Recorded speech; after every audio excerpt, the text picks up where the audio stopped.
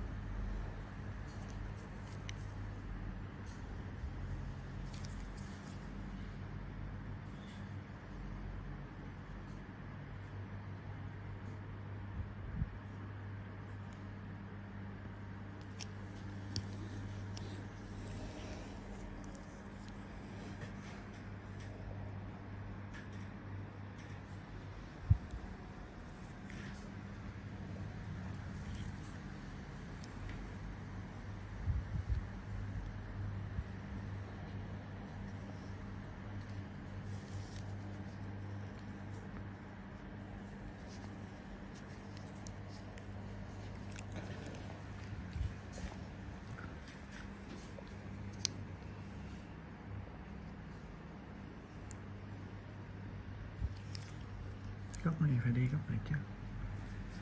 Ừ, góc dưới này đi ở đây đi đúng không